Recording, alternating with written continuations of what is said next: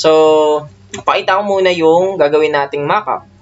So, ito na yung mockup na ginawa namin ni Boss Edwards. Actually, meron din siyang ano, uh, YouTube channel, which is, ang pangalan is Consward TZ yata. So, ano yun, may future tong batang to, kaya ginaguide ko. Tatlo lang naman yung section na gagawin natin, which is yung first, syempre yung home. Okay.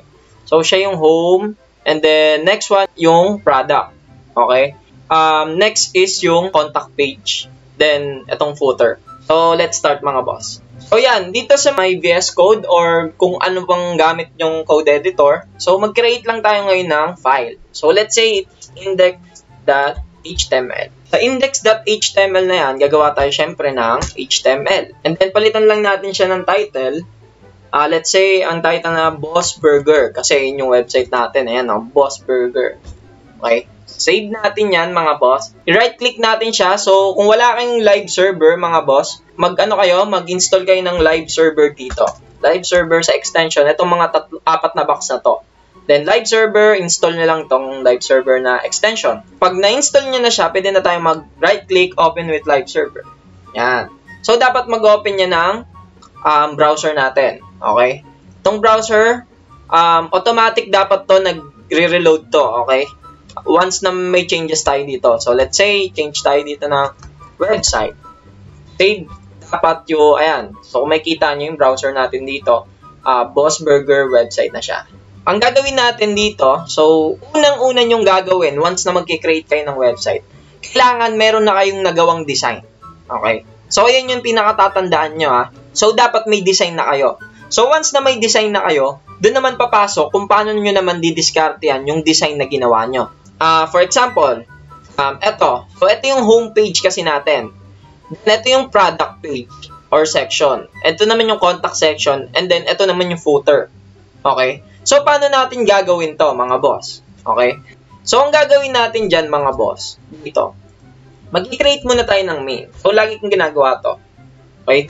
Main, and then, saan nyo ngayon i-create itong mga section. Each section, kailangan meron silang uh, container. Okay? So, let's say apat yun, di ba? So, yung una is home um, section. Okay? Then, apat sila. Siyempre, mag-create tayo ng pang product. Yan. So, ayan yung pinaka-basic. So, itong way na to, ito yung way ni Boss Rod kung paano ba ako nag-create ng website, no? So, gusto lang i-share sa inyo kung paano yung uh, thinking ko pag nag-create uh, ako ng website. Okay? Once na na-create na natin itong mga section, so ang una natin gagawin, eto muna. Sa home section natin, dito nyo muna iisipin kung ilang container, ilang, components, or ilang elements ba yung nando. Okay, so paano yung magiging diskarte natin dyan? So dito, ang nakikita kong diskarte, magkakaroon ako, let's say, gagawa kong box. So magkakaroon ako dito ng isang container. So let's say, ito yung first div.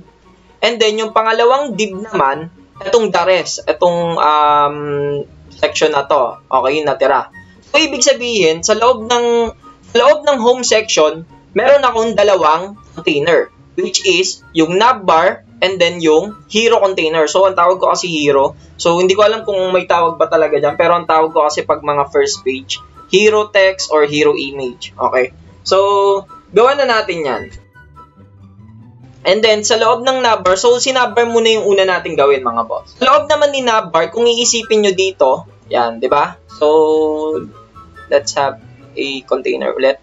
So, dito sa loob ni navbar, ilan na naman yung gagawin yung container. Okay? So, ako, ang nakikita ko rito, gagawa ko ng container for, for um, image and then container for uh, menu container sa menu. So, ibig sabihin, mahati to into two. Okay? So, sa loob ng navbar main ko, meron dalawang hati. Okay? Isa for logo, isa naman for menu container. So, paano natin gagawin yon mga boss?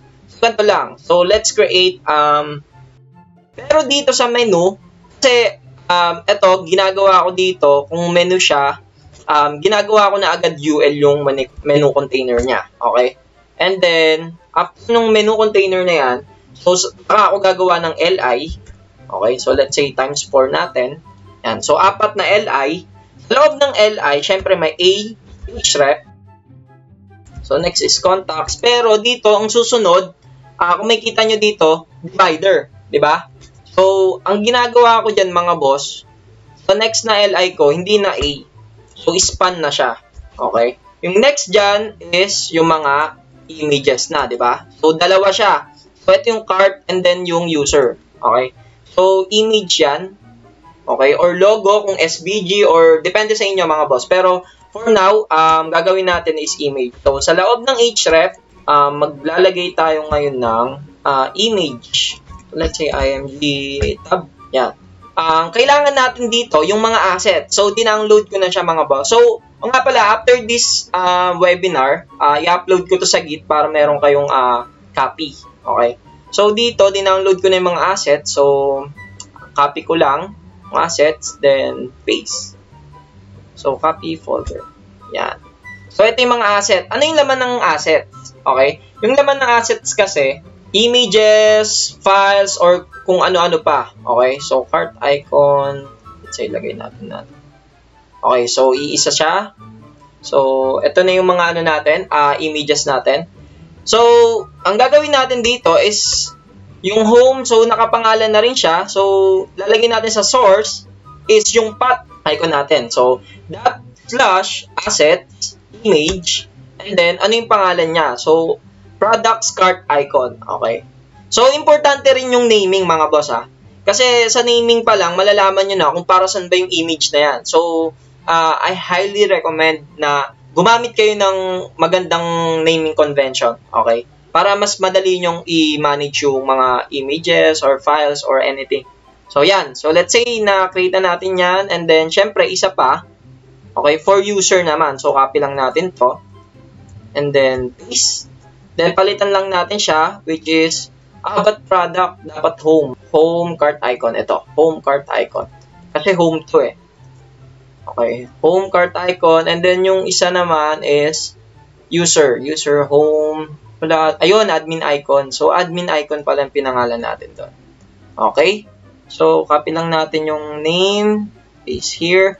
Then, yung uh, alternate. Okay? So, lagyan nyo yan. So, let's say ito yung home cart.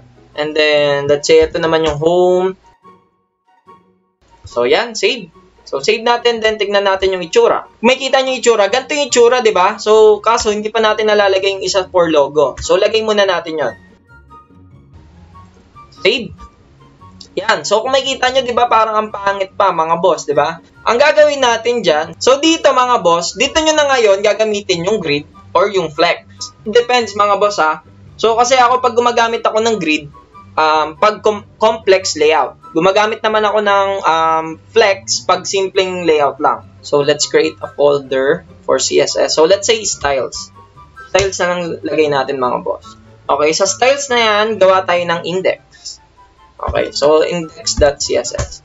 So, sa index.css na yan, mga boss, um, dito, import natin sa loob ng head, so link, then CSS, Then, import lang natin yung index.css. Tooldoc slash, then styles, index.css. Then, save. Okay? So, paano natin malalaman kung nagra-run na yan, mga boss? So, ganito nga pala, naglalagay ako lagi ng default. Okay, so yan, default. So, ang default ko as HTML.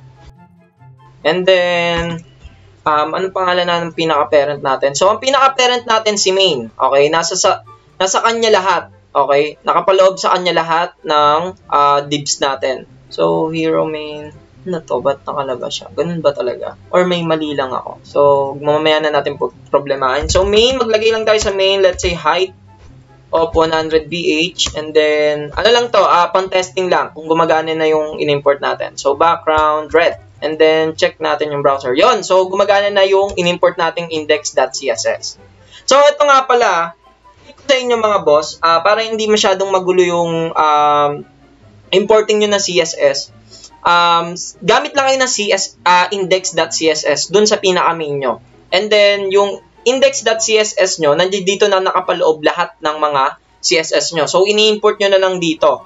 Okay? So, mamaya tatakal natin siya. Pero, for now, gawin to muna yung gawin natin. So, next natin gagawin dyan, mga boss, magdi-display grid tayo ngayon. Okay? So, display grid tayo. So, lalagyan natin ng layout yung pinaka website natin. So, display grid, col columns, 1FR. So, isang columns lang siya. And then, grid, auto rows. So, ibig sabihin na itong auto rows, Ibig sabihin, naka 1FR siya, depende sa sizes ng mga containers ko. So, let's say, ang ginawa ko dito, um, so hindi nyo, may, hindi nyo pa makikita dyan, di ba? So, pag nag-inspect element tayo dyan, mga boss. So, kung makikita nyo, every, every ano, um, every section, magka-same yan ng size. So, let's say, itong home section, tignan nyo, ganyan yung size niya, and then, pag bumaba tayo sa product section, ah, home, so dalawa kasi, ba't magka-level yung ano natin, home section? Okay, sabi ko na may mali tayo. So, hero main, hindi kasi natin na end, save. Yan, so ganyan dapat, okay? So, pag nag-inspect element tayo, dapat yan, sa loob ng main, may apat na section. Si home, si product, si contacts, and footer. So, kung mapapansin nyo, di ba, nag-auto-rows kasi tayo. Ayan, nag-auto-rows tayo. So, ibig sabihin, i-accumulate, uh, i-divide niya yon depende kung ilan yung section mo. So, yung size nung, uh, ano ko, size ng monitor ko, dinivide by apat, uh, each sections. O, so, yan, nagpantay-pantay sila, di ba? So, ayun yung ginawa ko dito. Kaya, nag, um, nag 1FR ako. So, pwede kasi natin gawin, let's say, auto natin. Save. So, mangyayari niyan, kung ano yung sobra dito sa home, mag, maghahati itong tatlo. Okay, so ganun yung, ano yun, yung point. So, let's say 1 FR muna natin. Okay, then balik na tayo dito. Lagyan natin ngayon ng um, CSS naman yung, eto na, si, focus tayo dito kay nav main muna. Sa loob ni home section.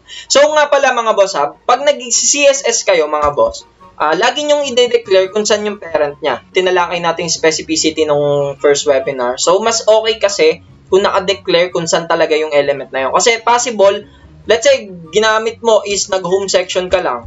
Home section. Okay, nag-home section ka lang. Possible kasi itong home section, gamit pa sa iba. Sa, let's say, sa loob na may home section din. Diba? So, let's say, may home section din. Let's say, ano lang, for example, meron dyan. Ang mangyayari, pag ganito yung ginawa mo, ma-apektuhan yung, yung CSS din dito. Okay? So, yung nangyari, yung pang home section mo na CSS na dito lang talaga sa home, nadama yung nasa loob naman ni products. Okay? So, kaya mas maigi kung i-declare nyo kung saan yung pinaka-parent niya. So, let's say, home section. Okay? So, declare natin yung height natin into 100 BH. Okay? So, ibig sabihin yan, dapat pag in-over ko tong 100 BH, ah, yung home section ko, dapat, kung anong height ng screen ko, dapat ma-maximize niya yan. So, which is na-maximize naman kasi nag-blue, di ba? So, pag check natin sa iba, so, wala na yung iba, di ba? So, wala kasi silang laman. Okay? Yan. So, ang una natin gagawin, si nav main. Okay? Or, lagay muna natin yung background natin. So, oh, sige, save muna natin para ma-explain ko rin sa inyo yung mga gamit ng iba. So, kung mapapansin nyo dito, pag niresize ko to, ayan. So, kung nari, pag nare-resize ko, di ba, walang nangyayari, mga boss. So, lalagyan natin siya ng background position to center. Okay? And then, lagyan natin siya ng background um, size to cover. Okay? So, yung cover, ibig sabihin, uh, ima-maximize niya. So, parang ang mangyayari, yan yung image natin, um, automatic nagre-resize siya. Okay? Automatic nagre-resize. And then, um, sinecenter niya mismo yung image natin. Okay, so ito yung gamit ng dalawang to, position and size. Okay, and then lagyan din natin siya ng background, repeat to no, repeat. Para ibig sabihin, pag sumobrang laki na yung sizes, hindi magre-repeat yung pinaka-image natin. Yung pag napapansin nyo, pag nag-change tayo ng background, nawawala yung, ah, nagdo-doble-doble siya, di ba? So, ayun yung gamit naman ng no repeat. Okay? So, let's say okay na yan, mga boss. Okay? So, nalagyan na natin siya. So, ang gagawin natin dito, sa loob ng section, meron tayong dalawang container, which is, ang container natin sa loob ng section, ito muna, yung navbar. Okay? Navbar and then yung the rest. Okay? So, paano natin gagawin sa grid yon? So, ganito lang mga boss. So, display, grid, and then grid, template rows. So, ito, ito yung first. So, let's say, ang i-declare natin is 120 yung height niya. And then, 1FR. So, yung ibig sabihin ng 1FR, siya yung the rest. Pag sinave ko yan, mga boss, pag punta natin ng browser, so, browser. So, kung makikita nyo dito sa browser, yan. So, yung home section natin, pag nag-hover ako sa, ano, sa nav, nav main, yan, 120px yung height na to, okay, ng nav. And then, yung hero main naman natin is the rest, kung ano yung natira. Okay? So, ito, mga boss ha, turo ko rin sa inyo. Itong gamit ng toggle device toolbar na to. So, ito yung ginagamit for um, different screen sizes. Okay? So, gagamitin natin siya kasi medyo maliit tong size ko. So, kunin natin yung standard nito. Kasi ang standard natin dito, ayan. So, ang width niya is 1440 and then height niya is 900. So, gawin natin yun dito. So, 900 yung height. Ayan. Okay, save natin yan. And then, 1140. Yan. So, kung makita nyo dito, so, ang knob main natin is 120 and then, ang ang hero main natin is the rest. Okay? So, una muna natin gawin si knob bar. So, paano natin gagawin naman si knob bar? Yung knob main natin. So, next naman natin gagawin, di ba, nagawa na natin ito. Yan. Ang gagawin natin, hahatiin naman natin yan. So, yung isa for, for logo, yung isa namang container is for menu. Okay? Paano natin gagawin yon mga boss? Okay? So, dito sa home section, uh, ganun ulit. Lalagyan muna natin siya ng uh, display. Okay, flex muna natin siya. So, yung, yung flex kasi, um, ito na yon So, simpleng layout lang kaya flex yung gagamitin natin dito. Sa flex na to, i-align lang natin sila ng center. Save. Yan.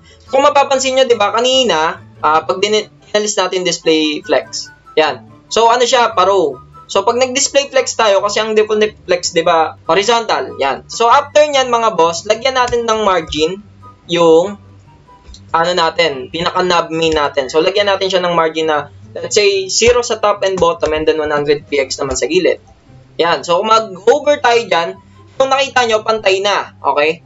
Pantay na yung, ano natin, um, margin natin sa left and right. So, sa knob main na to, ito naman yung da- dalawa yung gagawin natin. So, ang gusto natin gawin, dapat logo is left side and then right side, okay, yung mga menu. Copy muna natin, gawa tayo ng logo container. Okay? And then, tanggalin muna natin yung laman. Copy lang ulit natin to. Yung isa naman, kasi di ba menu container naman yon Okay? So, ito yung hahatiin natin. So, nag-display flex tayo doon. Kung gagawin natin, i-auto na lang natin yung size ng menu container. So, ang gagawin natin dito, flex 1. Flex 1 tong logo kasi yung itong the rest na spaces na to, ilalagay natin sa logo. And then, and then yung container natin for uh, menus, okay, ilalagay, um, ano lang siya, auto. So, depende sa sizes. So, let's say display flex din tayo dito para itong naka, ano siya, naka row type siya, di ba? Naka row type siya, pag sinave ko yung display flex, automatic tingnan nyo, napunta na siya sa dulo, di ba? Yan, napunta na siya sa dulo. And then yung logo natin, nakuha niya na yung buong sizes. Okay? So, yan yon. And then, itong logo natin, itong mga menu containers natin, ito naman yung kailangan nating i-align. Okay? So, na-align na natin siya, na-display flex na natin dito. Then, let's say, align natin siya ng center. Line item center. Yan. So, ayun, kung um, na, medyo nahihirapan kayo sa flex and grid, meron akong tutorial dyan. Pero, uh, for now, siguro, tignan nyo na lang yung concept kung paano natin siya ginagamit. Okay? So, kung mapapansin nyo dito mga boss, um, merong, uh, itong UL, meron siyang padding. Yan sa 40. Ano, kung makikita nyo dito, may padding siyang 40. So, tatanggalin natin yan kasi default yan eh. So, paano nagtatanggal ng mga default naman si Boss Rod? Ito lang mga boss. So, UL, pwede kayo mag-declare dito. So, kasi pwede naman natin lagay dito. So, let let's try, let's say, padding 0. Diba? Let's say, ganyan. Diba? Save natin yan. So, wala, mawawala naman yon Okay? So, makita nyo yung UL natin, wala ng padding. Diba? Ayan, wala ng padding. Pero kasi, ang gagawin mo na naman yan, pag gumawa ka na naman ng UL, mga boss, itatanggalin mo na naman yung padding. So, ang hassle, di ba? So, panig ka ng padding na 0. So, ang ginagawa ko dyan, mga boss, dito, UL, so, nagde-declare na ako ng mga default size, uh, default properties ko rito. So, let's say, lahat ng UL na i-create ko. Okay, lalagyan ko yan ng padding na 0. Okay? So, tinatanggal ko na yung default niya. Save ko yan. Kung napapansin nyo dito, wala na, di ba? Pag nag-create pa ako ng UL, hindi ko na kailangan pang lagyan pa ng padding 0 yung properties na yun kasi nag-set na ako na default dito. Okay? So, ganun din dito sa mga A. Ito, yung mga anchor tag sa mga LI natin na yan. Di ba? So, tatanggalin natin yung, ano niya, um, yung decoration niya. Pwede naman nating i-declare yan dito. So, gagawa tayo ng for um, LIA, di ba? So, LIA. So, pwede naman natin i-declare yan dito ng text decoration none. decoration none. Save. Yan. Wala na yung ano niya, mga um, underline niya. So, pwede naman gawin natin yon pero ang hassle na naman, paano pag gumamit na naman tayo ng A? ba diba? Ng A, A tag. So, dito, declare ko na naman yan dyan, text decoration. So, yun, dito, dito pa lang, um, nakapag-optimize na kayo ng, um, nakapaglinis na kayo agad. So, nalilimit nyo na yung pag-add-add ng mga padding zero, di, text decoration, di ba? So, na-declare nyo na agad sa taas. So, save natin yan. So, wala na, di ba? So, next natin gagawin, lagyan natin, ano yung, ano natin dito? Ano yung ginamit nating font size? So, ang ginamit nating font, Roboto, and then yung ginamit nating font size is 25px, okay? So, lagyan natin siya ng font size, yung A, okay? So, lagyan natin ng font size yung A natin ng save. So, pag sinave natin yan, punta tayo sa browser ulit.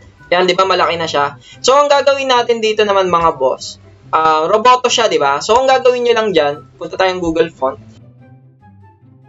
So, add lang natin yung mga yon. So, etong pin, di ba? So, kailangan natin yan. Add nyo lang, select this style. Then, light, kailangan ko rin yan, 300.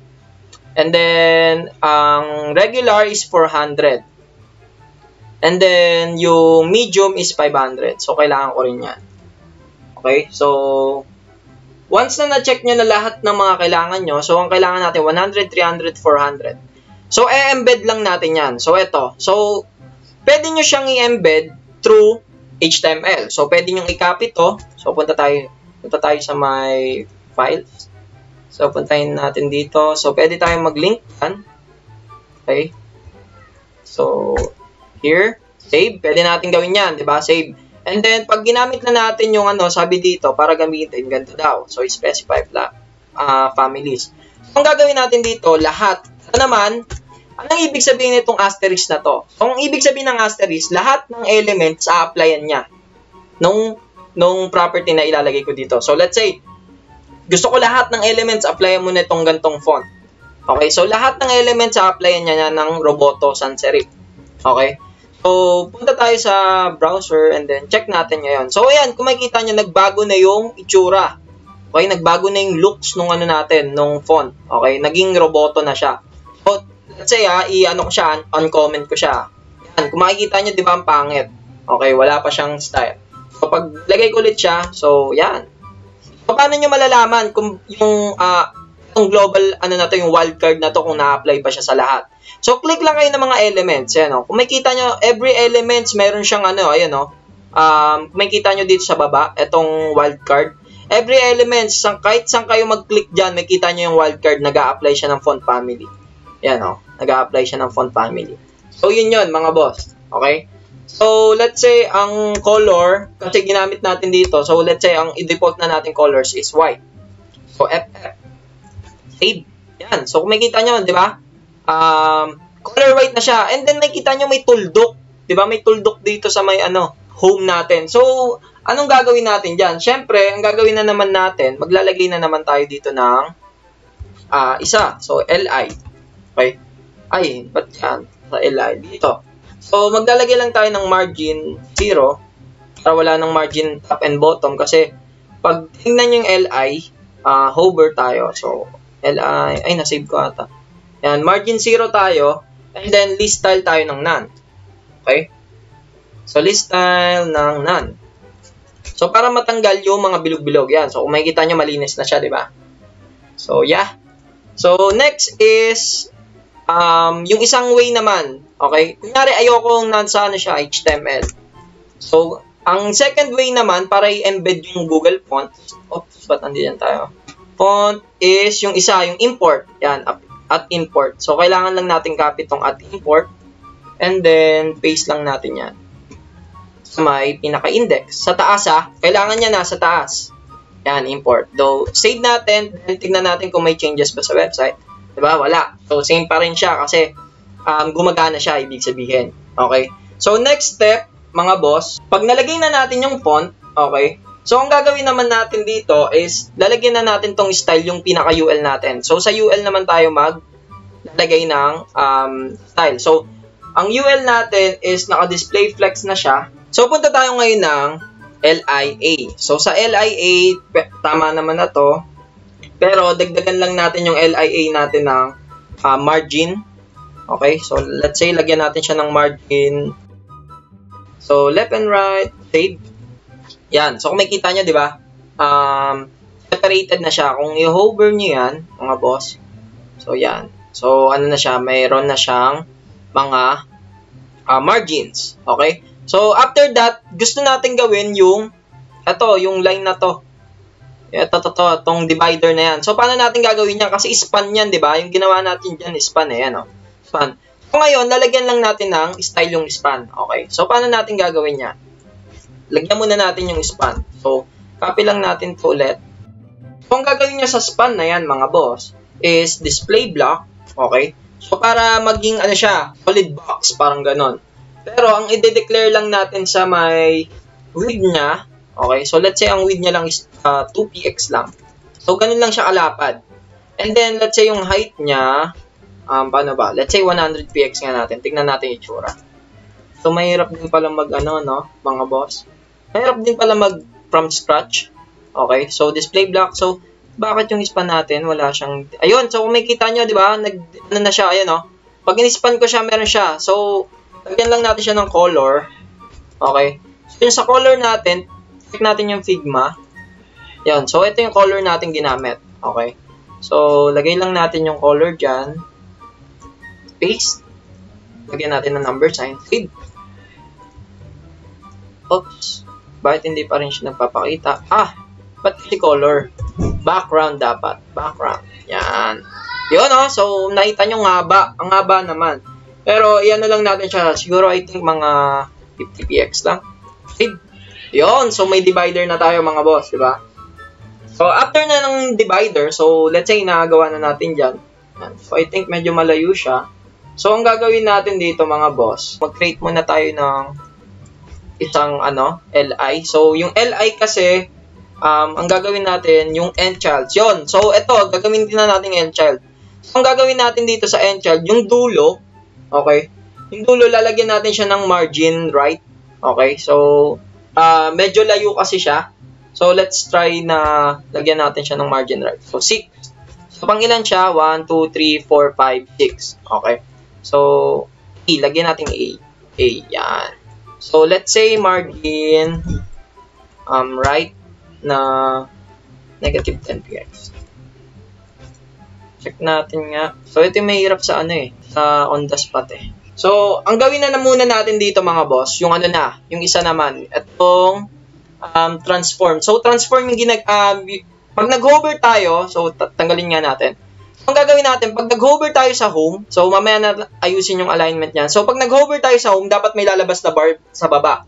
So, ang ginagawa ko dyan mga boss, ganito. Ang ginagawa ko dyan, pag nag-hover ako, so, copy lang natin yung for li. Oops. Copy lang natin yung for li. So, let's say li, And then, lagyan natin siya ng after. Okay? So, anin muna natin yung after. So, ano tong after na to? So, yung after na to, mga boss, meron kasi yung before and after. So, hindi mo na need kailangan. Ito yung iba, di ba, ang gagawin nyo. So, para mag-create kayo ng hover, para magdadagdag pa kayo dito sa home ng span. Okay? So, para tapos i-align yung span na yon para dun sa home pag nag-hover. So, dito, gagamitin natin yung after na um, pseudo, pseudo class. Okay? Ang first yung gagawin muna is yung content. So, yung content natin, let's say, empty lang siya. Kasi, ang gagawin natin, di-display natin siya ng block. So, parang span siya ang dating. Parang span ang dating. So, pag nag-hover tayo sa, um, let's say, sa mga home, yan sa home na yan. So, kung makita nyo, di ba, may nag-create ng after. Ayan, o, nag-create siya ng after na element. Okay? So, yung after na element na yan, ang gagawin nyo dyan, mga boss, let's say, lagyan natin siya ng width para mas lalo nyo makita, 100%. And then, lagyan natin siya ng background tulad nito. So, ito yung primary kasi natin. So, save natin. So, check natin mga boss ha. So, pag inano natin yung home dito, so may width nga siya na 100 pero wala naman siyang height. So, hindi natin siya makita. So, let's say, lagyan natin siya ng height. So, ang height niya, let's say, 4px. Save. Yan ako. So, kung makikita nyo, lahat sila nagkaroon. ba diba? Lahat sila nagkaroon ng um, nagkaroon ng, ng mga line. ba diba? So, tigi-isa sila nagkaroon ng line. Kung gagawin natin dyan mga boss, ganito, um, transform. So, let's, para hindi makita. Okay, so let's lagyan natin siya transform. Scale. So, yung scale, basically, yung una, yung width. And then, yung uh, pangalawa, na value. So, 1 and 0 lang to. 1, uh, point, point, point lang to. So, 0.5. So, ibig sabihin 50% nung pinaka-maximum height niya. Okay? And then, yung, yung panguna naman, so, let's say, 1 ang nilagay ko. So, 100% ang pinaka-height uh, niya. So, ganun lang ibig sabihin nitong scale.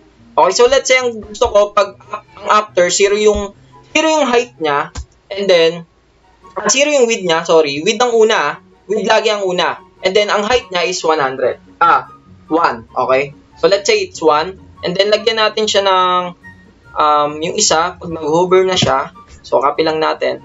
So, after, di ba? So, huwag kayong maano dito, ah. Um, dapat hindi mabaliktad to, ah. So, mangyayari dyan, um, dalagyan nyo siya ng hover. So, ibig sabihin, pag nag-hover sa A, yung after, anong gagawin niya doon? Okay, sa after. So, yung after kasi natin, nakaset na 0. So, pag connect natin dyan, yung ano, di ba nawala na yung mga guhit-guhit? Okay? So, ang gagawin natin dyan mga boss, transform scale 1. And then, pag nag-hover naman siya, ang mangyayari naman, ita-transform scale niya, ibabalik niya na sa 1. Okay? So, ibabalik niya sa 1, 1. Okay? Save natin yan. So, let, try lang natin. Ayan o. Makikita nyo, di ba? No-hover niya na, nagkakaroon na siya ng line. Pero, kung makikita nyo dito, sobra-sobra naman yung line. Okay? So, i-check natin kung bakit nangyayari yan. Okay? Lagyan natin to ng flex. Okay. Flex, then align na uh, flex direction para uh, paano siya, pababa. Okay. Kasi i-albaba lang natin silang dalawa. And then, si, si home yun ha, si href yan. Para i-ano lang natin siya, up arrow. Okay. So, display flex, then align natin sila ng center. Let's check. See? Ayun, ayun. Kung makikita nyo, di ba? Um, yun.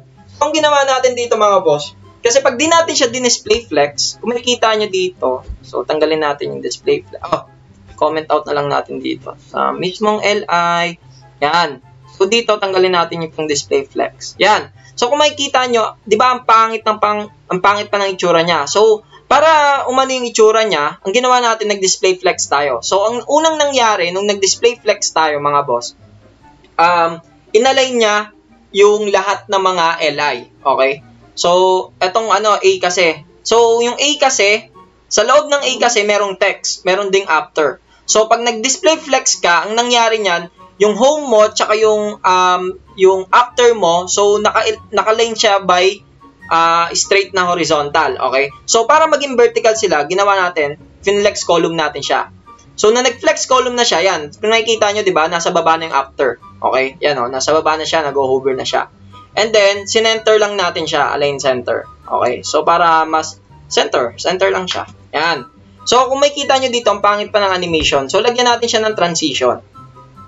So, ito yung kinagandahan pag transform yung ginagawa nyo. So, pwede naman kasing gawin nyo sa transition, yung height at saka yung bot, ay yung, ano, yung pinaka-width. Pero dito, sa transform, makikita nyo kung bakit. So, lagyan natin siya ng transition. So, tingnan natin yung awesome effect ng transform. Okay, let's say transform lang kailangan natin. And then, let's make it uh, 200 ms.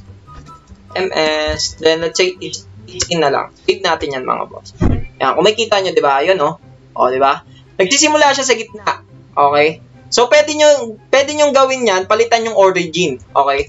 So, kung gusto nyo nagsisimula, hindi siya nagsisimula sa gitna, pwede nyo i-set yung transition to origin. So, let's say origin. So, origin. So, pwede nyo i-set uh, let's say, i sa right. Okay? Oops, ba't di ko magana yung transform? Ah, transition kasi. Transform, uh, dash origin. Yan. So, let's say sa right. Okay? Kung may kita nyo, sa right na nagsisimula yung animation. Okay? So, pag left naman, syempre, left yan, magsisimula yung transition. Ayan. So, di ba? Makikita nyo. Basic lang siya, pero mas maganda siyang tignan kaysa sa mga bigla-bigla lang lumalabas. So, pag tinanggal naman natin yan, automatic sa center yan. Yan, di ba? Center. So, let, let's say sa center na lang natin siya gawin. Yan. So, okay na yan. I think okay na yan. Then, makikita nyo, di ba, ang haba. Oops. Ano, makikita nyo, pati itong ano natin, pati itong 5 and 6 nating uh, LI, di ba? Pang 5 and 6. Nagkakaroon din siya. Paano natin tatanggalan yan? So, ito yung gamit na ng mga ano, may mga end-child, end-child. Okay? So, copy lang natin yung may LI, LA, ah, yan, LI. So, dito, paste lang natin. So, LI. So, ang tatanggalan lang natin ng effect is yung end child na pang 5. And then, yung end child din na pang 6. Ba? So, lalagyan natin siya. So, 5 and 6, ang gagawin nyo lang, all unset. Itong all unset na to, matatanggal niya lahat ng mga na-declare na dati sa LI. Okay? So, yung mga na-declare dati sa LI, ito, itong LI, so, itong fonts, uh, margin, di ba? Tatanggalin niya yan. So, pag sinave ko yan, mga boss, yan. So, kung may kita nyo, bakit walang nangyari? Oh, ba't may hover pa rin? Ah, kasi yung dapat nating tanggalin is yung sa after. So, yung A after, kasi A siya. A din kasi yan, pero ang loob kasi ng A ng ano natin, pansik, yan, A kasi siya, ang loob niya lang image, okay? So, kailangan pa rin natin tanggalin yung mga dineclare natin sa an after, okay? So, yan, kung mapapansin nyo, wala na yung um, hover katulad nitong mga to. So, wala na dyan, okay? So, after natin matanggal yan, sa mga A naman, ito. So, adjust lang natin yung margin ng dalawa. Let's say, ang margin ng dalawa sa right. So, override lang natin yung margin sa right. Kasi, masyadong mataas, di ba, yung margin, eh, no, margin nilang dalawa. Okay. So, dapat, medyo close naman sila. Medyo magkalayo sila para magkaaway. Eh. Ayan. Ah, ba't lang nangyari? So, 5 and 6. Ah, ba't naka-after kasi? So, tanggalin natin yung after. So, A lang. Si A lang mismo. Save. So makita nyo, close na siya, di ba?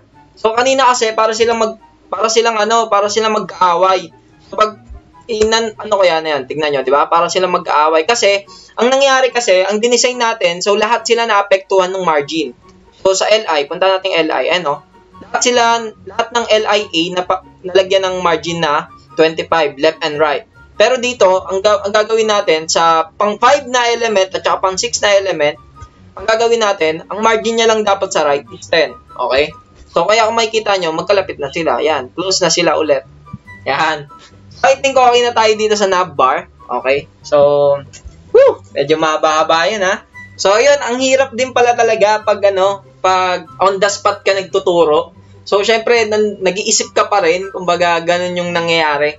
Pero, syempre, para sa inyo, free lang tayo. so, eto, meron pa akong isang tip na ibibigay sa inyo mga boss. Kung mapapansin nyo dito, gumagamit tayo lagi nito. ba? Diba? Copy tayo ng copy. ba? Diba? So, pa paano pang nangyari, um, pag nangyari, nag-ano tayo, nagpalit tayo ng color. So, lahat ng may mga ganto papalitan natin. So, kung gagawin natin, hanapin natin lahat ng ganto, tapos i-ano natin, i-override natin. So, merong isang solusyon dyan na ginagawa ko. So, kung gumagamit na kayo ng SAS, ganito rin naman yung ano niya. Ganito rin naman yung idea niya. So, let's, let's, uh, let's create a variables. Okay? So, paano mag-create ng variable kay CSS? So, ganito lang yan mga boss. So, dito sa root, okay, so kailangan nyo lang gumamit ng, yung sabi, water break na, sabi ng moderators ko. So, mamaya-maya, water break tayo. So, um, colon, and then root. Okay? So, sa colon and root, yan. So, dito na kayo magdadagdag ng mga variables nyo. Okay? So, paano kayo magdadagdag? Ganito lang um, dalawang dash and then yung pangalan ng variable. So let's say, ang pangalan natin dun sa color natin is primary. Okay? So, so basically, yung mga ginagamit sa, sa mga sa SAS or sa LESS or any pre- processor na ano na na CSS, um, 'di ba gumagamit sila ng variables doon? Kino-convert lang nila 'yon into this. Okay? So, ganito talaga yung native na pag-create ng variables. Okay? Pangalan ng variables, and then, um, yung value. So, let's say yung value niya itong color. Okay? So, lagay nyo lang color. Okay? And then, paano nyo naman gagamitin tong variable? So, sa variable na yan, ang gagawin nyo lang, copy nyo to. Okay? Copy nyo yung pinaka-name ng variable nyo. And then, yung mga to, higing var, copy nyo lang sa loob yung variable nyo. So, ganyan lang siya kadali, di ba? So, itong var, copy lang natin yan dito. Okay? Save natin mga boss. Tignan nyo. Di ba? Kung mapapansin nyo, ang anong sinelect nating mga ano nun, color? Itong divider, kasi anong, ano, sino ba yung may gumagamit? Si span. And then si after, yung ginawa nating hover. Yan, no? Diba sila? So, ang kinagandahan niya mga boss, let's say, nagpalit tayo. Ito kasi yung ginagawa for thinning. Okay? So, let's say, nagpalit tayo. Ginawa natin siyang red. Okay? So, red. Kung mapapansin nyo, anong nangyari? Diba yung span natin naging red din? And then yung hover natin naging red din. So, ganun ka-cool gumamit ng variables kay CSS. Okay? Kung may idea kayo kung paano ba talaga gumawa niyan, um, mas madali sa inyo mag-clean ng code or mag-create ng code na reusable. Okay? So, dito, yon So, kung mapapansin nyo, balikan natin sa pinaka-team natin. Team kasi natin yung Doc 404 na yan. So, next natin gagawin, so tapos na tayo sa ano, sa navbar, di ba? So, next natin gagawin yung hero main naman. Uh, isa pa palang tip, okay? So, di ba ang sinabi ko, para hindi naman kayo masyadong lumaki, yung so sobrang haba naman tong index nyo. Kasi, ang gusto natin, index lang, di ba? So, para hindi siya ganun kalaki, okay? So, pwede nyo gawin mga boss, punta kayo dito, gawa kayo ng home at CSS. Then, copy natin lahat for home, okay? So, copy natin hanggang home section. So, copy lang natin yan and then, uh, paste natin yan dito. So, ang gagawin nyo mga boss, syempre, pag sinave ko to, yan, wala nang CSS, di ba? Kung gagawin yan, i-import nyo lang yung home.css nyo doon sa pinaka-index nyo. So, paano mag-import? Ganun pa rin.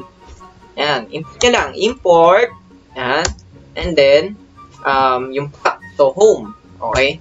So, yan lang. Ganyan lang kadali. Oops, wait lang. Lagyan natin semicolon. Save. Yan. So, pag ano ko yan, inaltab ko yan. So, kung makikita nyo, di ba? Basic. So, palitan natin yung color. Tignan natin kung gumagana ba talaga red. Oh, ganun pa rin. Oh, di ba? Ganyan ka, ano, ganyan kasaya mag-program, lalo na pag alam nyo na talaga yung ginagawa nyo. So, yeah. So, next, um, Ayan, di ba kung mapapansin nyo, lahat ng defaults nyo nasa index, okay? And then lahat ng CSS nyo, ini-import nyo lang sa, sa, uh, sa index nyo. So sa ano kasi, pag gumamit kayo ng bootstrap, bootstrap mga boss, pag magsasas na kayo, kung uh, i-customize nyo na yung pinaka-ano ni bootstrap, i-import nyo lang yung mismong ano ni bootstrap. And then, uh, papalit-palitan nyo na lang yung variables. Pero siguro soon, gagawa ko ng tutorial for that. Pero for now, so custom lang tayo. So create tayo ng ngayon for, ah, punta na tayo dito sa home na ginawa natin. So, for example, ito yung home section. And then, lagyan natin ng comment. So, ito yung, let's say, ito yung knob main natin. Okay. So, let's say, yung knob. And then, split natin. So, ito naman yung isa. So, let's say, ito yung hero. Okay.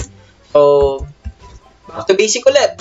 Then, main. Then, um, home section. So, di ba? So, ano yan? Uh, along the way, mga boss, kakasanayan nyo na lang gumamit na itong ganito. Okay? Kakasanayan nyo na lang yan. And then, pag nasanay na kayo dyan, lagi nyo na itong gagawin. Okay? Kasi mas malinis sa code. Okay? So, hero main. Okay?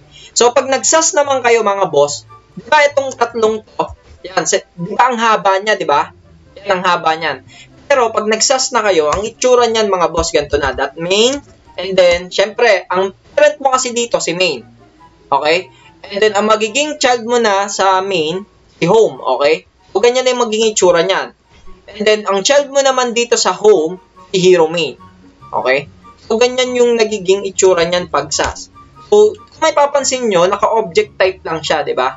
So, mas madali kayong, mas mahab, kasi itong haba, di ba? So, mas madali yung typing nyo. Kasi uulit-ulitin nyo yan eh. So, dito kasi pwede kayong magdagdag ng li. Okay?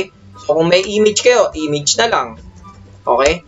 kung may ano kayo, kung may A kayo, A na lang. Diba? Ganun kadali. Pero pag ang ginawa nyo yan dito, so tig-iisa sila, di ba? So me- medyo mahaba. So burahin na natin yan. Yan. So ganun yung SAS. Pero hindi ko ginawang SAS ngayon kasi medyo baka hindi makasunod lalo yung iba. Okay? So yan. So sa main hero main naman tayo. Okay? So punta natin ulit yung layout. So ganun lang lagi. Puntahan yung pinaka-layout natin. Okay? So sa layout natin dito, anong nakikita nyo mga boss? Makikita nyo dito, hindi siya 50%. So, ang nakikita ko kasi dito, dalawang hati sila. So, isang row for hero text and then isang uh, isang column for hero text and then isang column din for uh, hero image. Okay? So, ang nakikita ko dito mga boss, hindi kasi siya pantay, di ba? So, let's say, ang i-declare natin for height, okay, so balik tayo dito para 1.440 yung pinakaano natin. Yan. So, ang gagawin ko dito is siguro mga 1.5 or 1.3 tong ano natin. So, hero text. Okay, so, create muna tayo dyan. Magdi-display muna tayo dyan ng, um, margin muna natin sila ng 100. Okay, so 0 sa bottom, then 100 px uh, side by side. Okay, parang ano lang, ipapantay lang natin siya sa ginawa natin sa nav main. Okay, sa nav main kasi, di ba, ayan, oh, 100. Kung makapapansin nyo rin sa hero main natin, 100 din yung margin.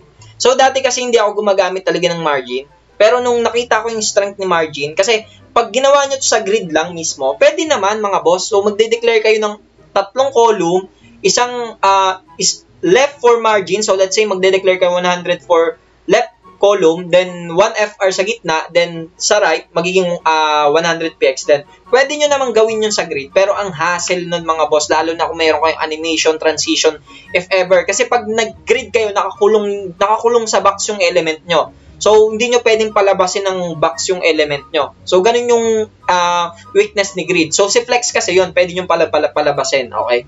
So, si position din, pwede nyo palabasin. Okay? So, ayun, pwede, gana dun yung margin. Kapag nag-grid kasi kayo, sa loob ng grid, then nag-margin-margin kayo, hindi nyo, kahit mag-margin kayo ng ilang libo doon, mga boss, hindi yung lalabas ng container nyo. mag extend lang yung container nyo sa grid. So, ayun yun. So, yan. So, display grid tayo dito, mga boss. So, ang daming kwento naman ito ng boss Rod. Ayaw mag-code na mag-code. So, pasensya na kayo, mga boss. Gusto ko lang, ano, gusto ko lang warning kayo sa simula pa lang. Pero, okay naman kung i-explore nyo siya. Okay? So, din, din lang din naman ako natuto. So, yan. Let's say, mag-create tayo ng template. So, like what I said kanina, di ba? So, ang sabi ko doon, column. So, pwede ko siyang i-repeat ng dalawa. So, let's say, ano na lang natin siya. Ipantay na lang natin siya ng 1FR. Okay? And then, ang rows natin, isa lang. So, let's say, ang rows natin, 1FR. So, yung 1FR, no, the rest yun. So, parang, ang kinakalabasan niya, kung ano yung available space kanya yon yun yun. So, yan. So, kung mag-hover tayo dito sa hero main, so, close na natin yung nav main. Hero main na tayo mag-focus. So, sa hero main, ayan, kung makikita nyo, may dalawang hati na. So, ito yung gagamitin natin for hero text and then kay hero image. So, mag-declare muna tayo ng uh, index natin for hero main.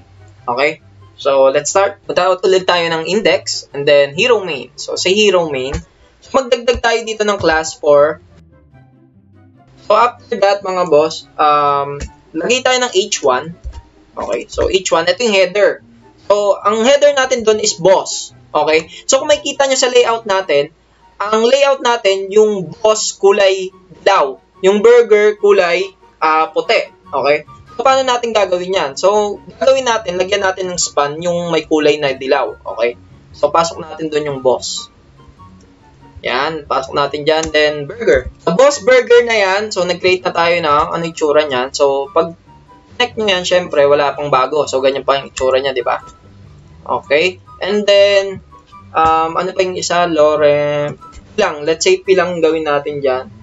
Yan.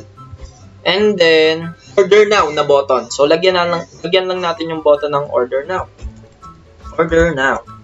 Save. And then, itong image, so lagay na natin image para din na natin balikan. So, image, um, ing na, ing, and then, lagyan lang natin lagay ng, ito, description. So, let's say, hero, uh, home, burger. Okay?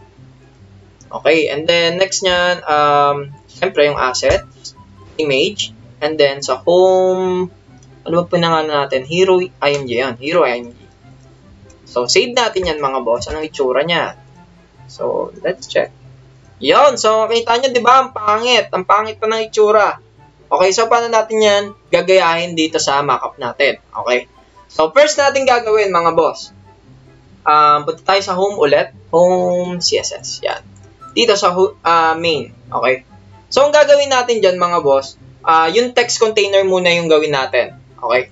So, sa text container, copy lang ulit natin. Yun lang, ito lang hassle pag CSS3 lang kayo. Copy kayo ng copy kasi ang haba, di ba? So, mas okay kasi kung sinusundan nyo. Malalaman nyo kasi talaga kung saan siya talaga, uh, you know, kung sino yung per, pinaka-parent niya. Kasi kung general lang kayo niyan, A lang, so saan yung A na yan? So, sa, saan yung LI na yan? So, uh, may hirapan din kayo mag-debug if ever. And then, magkakaroon ng mga override ng mga CSS, lalo na kung nagamit nyo na yung class na yon and then meron naka-declare na property na CSS na doon, pwedeng ma-override yung gagamitin yung class ulit doon sa element nyo. So, kaya I would recommend na ito yung style na gawin nyo pag nag-ano kayo, CSS. So, hero text. So, hero main, merong hero text container. So, ayan yung ginawa natin kanina. Okay, sa hero text container, ang um, lagyan natin siya ng font size. Anong font size natin doon? So, tansyahin na lang natin. So, ah, container pala to. So, display muna tayo ng, ano, ayun, bibigyan ko na kayo ng flex ang ga- dapat gamitin natin. Pero dito, bibigyan ko na kayo ng idea kung bakit flex or hindi grid. Magdi-display grid tayo, ha. So, save natin. Yan. Kung may ano nakita nyo, ayan, oh, nag-display grid tayo, and then, lagyan natin siya ng place, ano, place item center. Oh, what's up? Center, uh, item center. Okay, so ganito kasi itsura niyan. Ayan, oh. Na-center nga natin, na-center natin yung pinaka, um, uh, pinaka-details, di ba? Na-center natin siya, na-center din naman natin yung ano. Pero, ang nangyari, sabi ko nga sa inyo, sa grid, automatic yan, dinidistribute niya yung ano niya, yung mga sobra niyang sizes. Um, equally ah, so walang lamangan. So kung makita nyo dito sa hero text, yan. Yan kung makita nyo, di ba, tatlong grid siya na um, equal, equal sizes. Ayan, di ba? So, ito na yung, ito na yung ano, scenario na ang gagamitin mo, hindi grid. Kasi pwede naman talagang grid. Pero ang mangyayari niyan, pag nag-grid kayo, i-align nyo pa to. Let's say, gawin natin ha. So, let's say, gusto ko itong i-align sa um, display grid natin yan. And then, i-align natin siya ng end. Pwede nyo i-ano yan. Pwede nyo talagang i- tag dito, align natin siya ng items to end. Ah, self. Sorry. Self. Okay, yan o. Oh. Diba? Napunta siya sa baba. Okay? So, next nyo na mga align to, i-align nyo naman dito sa gitna. Tapos, i-align nyo na naman to sa taas. Diba ang hassle pag grid? Pero, flex na yung ginamit nyo dyan. Display flex. Yan. So, yan. Save ko muna. Yan. Kung makikita nyo, diba, ano siya? Pahaba siya, pa-column. Then, syempre, hindi naman pa-column yung gusto natin gawin. So, gagawin natin flex direction. Ah, uh, ayun, nga pala, nakakalito to. So, pag magkabalik kasi ng column at saka ng row, etong si ano, si flex. Column kay flex, row yan kay grid. Yung row kay flex, column yan naman kay grid. So, ganun siya nag-work. So, dito, imbis na kasi kung grid tayo, gagawin natin pa row to. Okay? Pero kasi flex tayo, so pa-column siya. Yan, makikita nyo, di ba? Pa-column na siya nangyari. And then, ano, pa, ano papansin nyo sa grid? Ah, sa flex. So, napapansin nyo sa flex, ina-align niya lang yung items pero hindi hindi niya dinidistribute yung mga extra spaces. Unlike kay grid, 'di ba, dinidistribute niya. Okay, kaya ang nangyayari, equal siya by uh, each element. So kaya mas okay gamitin dito si flex. So flex versus grid, yan mga ganun, 'di ba? May mga ganun eh. Mga flex versus grid. So ito 'yon, ito yung scenario kung bakit kung kailan kayo gagamit ni kay flex, kung kailan naman kayo gagali, ah, gagamit kay kay grid. Flex and then syempre align natin siya ng Ah, just, but align. So, justify. Okay, para maging center lang siya. Save. Yan, di ba? Center na siya, mga boss. Okay? So, next natin dito, mga boss, is yung H1. Okay? So, lagyan na natin ng ang style yung H1 natin. Copy lang natin din H1. Okay? H1 na yan, lagay tayo ng font size. So, ito, tatansyahin lang natin yung font size kasi image eh. So, let's say, ang font size natin into 70px. Ayun. So, ganyan yung itsura niya or let's say 80px. Yan. So, I think okay na yan. Then, gagamit tayo ng font weight. Ito, ito na yung gagamitin natin. So, paano naman gumamit itong font weight? Ito na yung mga dinownload nating font kanina. So, yung first, di ba, ito yung 100, which is siya yung thin. Okay? Then, yung 300, siya yung light. And then, yung 400, siya yung, ano ba yung 400? Let's check it. Ito. Ito yun, ito yung mga ginamit natin. So, review. Yung thin, siya yung 100. Okay? Yung light, siya yung 300. Okay? Yung regular, siya yung 400. Yung medium, siya yung 500. Okay? So, ganun gumamit ng font weight. Okay? So, font weight, pwede nyo naman gawing bold. Pwede naman kayong gumamit niyan. Pero kung gumagamit kayo nito, i-maximize nyo na. Kasi in-import nyo na to eh. Okay? So, gamitin nyo na yan. So, ang ginamit natin doon, um, let's So, ito medyo payat siya. So, let's say, ang font weight niya gawin natin 400. So, let's say regular lang. Okay? So, uh, palitan din natin yung ano, magano tayo, maglagay tayo dito ng font weight. So, let's say ang font weight natin, kasi madalas ang gamit natin, ano eh, uh, light. So, 300 yon So, gamitin natin siyang default. Okay? So, sinave ko yan, kung makikita nyo dyan, asa na yun? Dito. Yan, di ba? Naka ano to, so ang default niya is 300. Pero gagawin natin dito, papakapalin natin yan, gagawin natin 400. Yan, medyo makapal. Kasi ganun yung itsura, yan o, oh, medyo makapal ng konti. Ganun yung itsura niya. So, gamitin natin is 400. So, lagyan tayo na ng font weight na 400. Yan. So, sa 400 na yan, and then, save muna nga natin. Yan. And then, masyadong ma, ano, masyado siyang, masyado siyang malaki. Ah, masyadong mahaba yung ano niya, line height or yung margin niya. So, tanggalin natin. Margin 0 natin. Margin. So, ito nga, ito yung pinaka-hassle sa web development, yung designing talaga. So, ito talaga yung tatagal, tatagal talaga kayo. So, ang hassle din kasi talaga, lalo na iisipan nyo yung alignment, etc. etc. Kaya yung iba nagsasabi na madali lang yung front-end, sa no-no. Lalo na designing. Madali lang siya, pero ang haba ng kain ng oras natin mga boss. So, bilisan natin ng konti. So, span naman. So, lagyan natin ng span. Kasi yung span, di ba, H1, sa loob ng H1, okay, so ito na yung mga coloring ha. So, ito na yung tip ko sa inyo mga boss.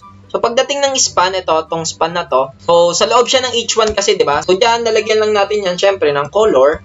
Yan. And then, wag nyo kakalimutan, di ba, naka-variable tayo. So, primary. Yan. So, pag nag-change tayo na nag-change ng, ano, ayan o. So, yan, di ba? Pag nag-change tayo na nag-change ng color, so, makikita natin yung effect. So, dilaw. So, check nga ulit natin. Red. Okay. Yan. Ayan o, red na siya, di ba? So, yan. Automatic nag-change siya. So, yan. Balik na tayo dyan.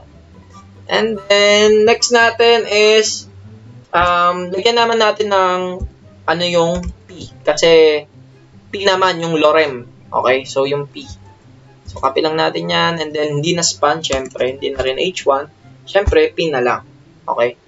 So, ano yung font na ginamit natin sa ano? Ayan, di ba? Kung mapapansin nyo, di ba? Tingin tayo sa pinaka-mockup, and then check na naman. So, thin siya, and then 34, okay? So, ang font size niya, uh, font size niya is, so may shortcut dyan mga boss ha, FZ, up, yan. And then, ang font size niya is 34px. And then, ang font weight niya, so thin siya, di ba? So, 100. Save. So, let's check it. Yan. So, may kita nyo, di ba? Okay. That's cool. Pero, tanggalan natin siya ng margin kasi, ano nga pala, pag gumagamit kayo ng mga PH1, may mga ano yan, default na margin and padding. So, or padding. Okay? So, tanggalin lang natin yung margin tab. So, 0. And then, ibalik. Yan. So, magkadikit na siya, di ba? So, medyo kamukha niya na ba? So, ang layo pa rin, di ba? So, um, next natin, uh, yung button. So, yung button naman yung next natin gagawa ng style. So, copy lang ulit natin, and then button na tayo. So, button. Yan. So, button naman siya. Okay, sa button na yan naman, ang gagawin naman natin dyan, mga boss, um, width. Okay, so, let's say ang width niya lang is 200px. Then, height natin siya ng, let's say, mga 60 or 60 na lang. Let's say it's 60px. Okay? Yun. So, makikita nyo ganyan na yung size niya. Pero, ano bang size niya talaga dito? So, pwede kasi natin check. So, 59 lang yung height niya. So, ganahin na natin nasa mockup. So, 59 yung height niya. And then, yung 280. Ang laki naman masyado. So, sige, 280. Sundan lang natin yung mockup. Yan. So, height, 250px. And then, lagyan lang natin siya ng background color na syempre, ganun pa rin ang background color natin. So, primary. Okay? And the next is border radius. Okay, so in border radius, siya naman yung ano, curve sa mga gilid-gilid. Okay? So, ang border radius niya, 5. And then, let's say, ang font niya, ano ng font niya? FZ, um, double click. 27, then regular siya. So, 27 px. Then, ang font weight niya, syempre, regular siya. So, ang regular, laging 400 yan. Okay? Okay, so, regular siya. And then, save. Check muna natin itsura. Yan. So, makikita niyo itsura, di ba? Parang weird pa. Ang weird pa ng itsura niya. So, check natin ba... Ah, okay. Tanggalan natin siya ng border. Okay, border, none. Okay.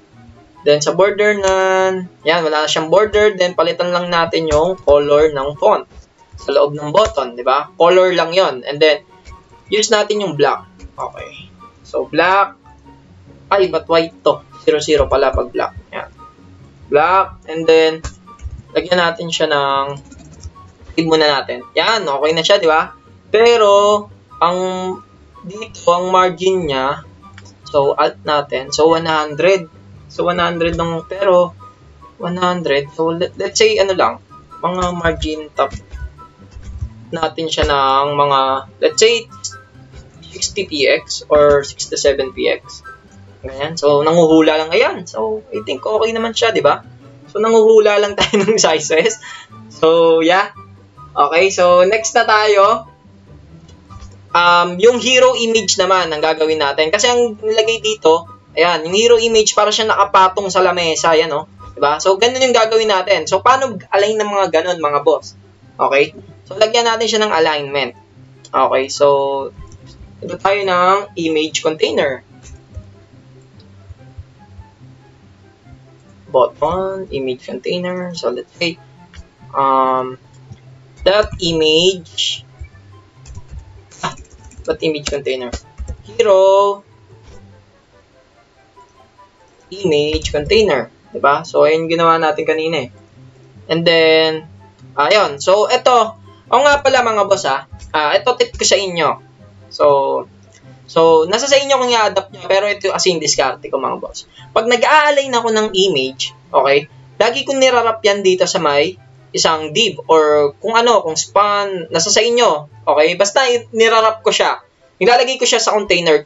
Kung iisipin nyo, sa container, sa loob ng container kasi, pag nagpa-flex kasi, so let's say, sa loob ng container, pwede nyo i-align-align yung loob, yung ano nyo, pinaka, pinaka-item nyo, di ba? Ganun yung nag-work yung flex. So, kaya ang nangyayari sa akin, ginagawa ko siya lagi, ang image tag ko, laging nasa loob yan ng mga, ah, uh, ng mga divs, okay? So, ang tawag ko dyan, placeholder, okay? Kasi, tingnan nyo ah, uh, paglalaroan natin siya, hero image, okay? Kapag nag-display flex na ako dito, mga boss, display flex. So, ang gagawin nyo dyan is, i-align lang natin siya into center, okay? So, ang nangyayari dyan, mga boss, let's say, uh, justify content into center. Yan, di ba? Na-center siya. And then, um, hindi natin siya i-align ng items ng center. Kasi nasa baba siya, di ba? Flex end natin siya. So, yan, kung makikita nyo, di ba? Na-align na siya sa baba. So, parang naka, nakapatong na sa lamesa yung burger. Okay? So, naka-center siya, then nakapatong yung uh, sa lamesa yung burger. Yan. So, I think okay naman na. And then, ayan yung burger natin. So, ito na yung home natin, mga boss. Okay? So, kung makiki kung titignan nyo siya, medyo mala medyo ano siya, medyo nasa bamang baba siya, 'di ba? So, lalagyan lang natin siya ng margin bottom. Okay? So, lagyan natin siya ng margin bottom para maging Oops, copy lang natin yung ginawa natin sa kanina, image. Okay? And then, lagyan natin siya ng margin bottom. Let's say, 20px. Yan, di ba? Parang ano na siya, naka, nakalagay na siya, pero ganun ba yung itsura? Medyo angat pa. So, dagdagan natin ng konti. Um, that's it. So, I think, okay na yung 80px. Okay, so 80px. Um, 80px to. Oops. 80px. Save. Yan! So, whew! Nagawa na natin yung homepage natin. So, medyo matagal nating nagawa ah. so, ayun, ang hirap kasi talaga pag ano, pag on the spot. Yan. So, next na tayo, next step. Okay? So,